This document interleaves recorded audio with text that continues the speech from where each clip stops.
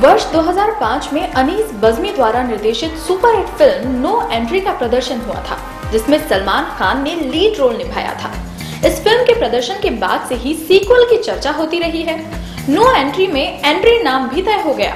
खबरें आई कि अनीस बजमी ने सलमान को कई स्क्रिप्ट दिखाई, जिसमें से एक सलमान को पसंद आई।